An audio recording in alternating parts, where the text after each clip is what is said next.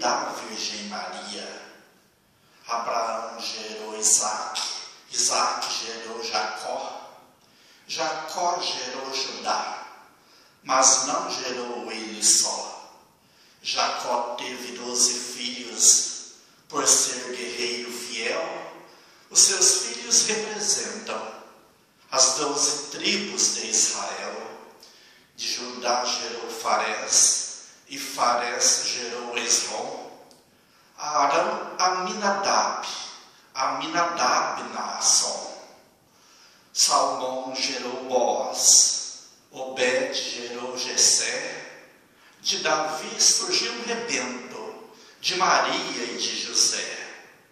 Mil anos antes de Cristo, Davi gerou Salomão, e o rei da sabedoria depois gerou Roboão. E Abias gerou Asa, Josafá gerou Jorão, Jorão gerou Osias, e Osias Joatão.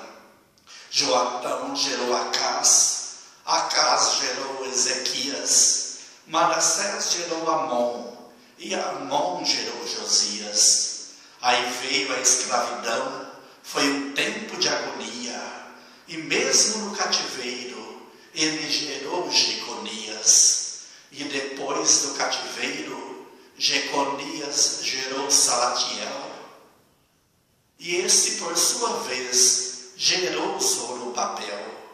Zorobabel gerou Abiúde, Abiúde gerou Eliassim, e Azor gerou Sadoque, Sadoque gerou Aquim, Aquim gerou Eliúde, Eliúde, Eleazar, e Matã gerou Jacó, dos domínios de Judá.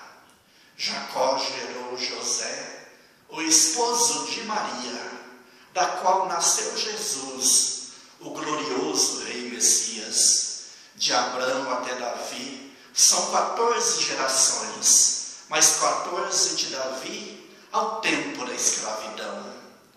Da escravidão da Babilônia são mais 14 também, até que nasceu Jesus na cidade de Belém.